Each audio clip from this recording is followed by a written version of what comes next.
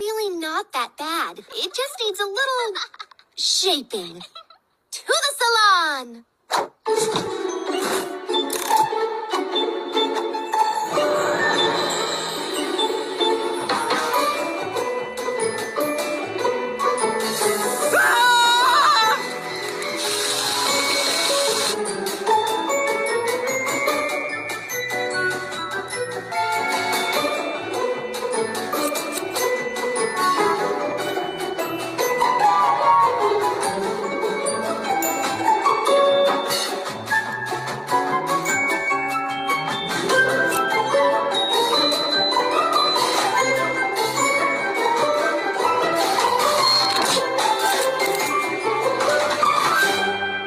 I love it.